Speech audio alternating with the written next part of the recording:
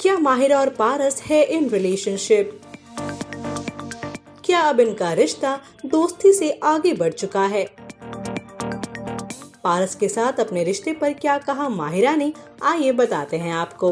Big boss तेरह तो खत्म हो गया, पर इस शो में मिले पारस छापरा और माहिरा शर्मा के रिश्ते पर बातें खत्म होने का नाम ही नहीं ले रही हैं। रिसेंटली एक वेबसाइट को इंटरव्यू देते वक्त माहिरा ने कहा, मैं बहुत खुश हूँ कि वो चीज़ें समझता है। पारस ने जो कहा कि हमारा रिलेशनशिप वक्त के साथ बिल्डअप होना चाहिए, वो एकदम सही बात है। हम सब जानते हैं कि शो के दौरान कैसे रिलेशनशिप्स बिल्डअप होते हैं और फिर खत्म हो जाते हैं। हमारे रिश्ते का फाउंडेशन फ्रेंडशिप है और मैं फ्यूचर के बारे में टेंशन नहीं लेना चाहती। मेरे लिए ये दोस्ती ज़्यादा इम्पोर्टेंट है। इसके पहले जब पारस से माहिरा के साथ उनके रिश्ते पर पूछा गया था तो उन्होंने कहा था कि इसे ऑर्गेनिकली होना चाहिए। बेसिकली वो टाइम दे रहे हैं एक दूसरे को।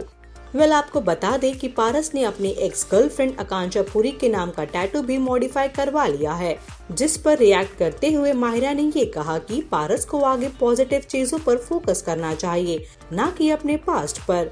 सोशल मीडिया हो या सॉन्ग्स पारस और माहिरा की केमिस्ट्री को मिल रही है फ़ैन से थम्स अप तो आप इस जोड़ी के बारे में क्या सोचते हो? अपने लाइक्स और कमेंट्स के ज़रिए हमें ज़रूर बताएँ और देखते रहिए टेली मसाला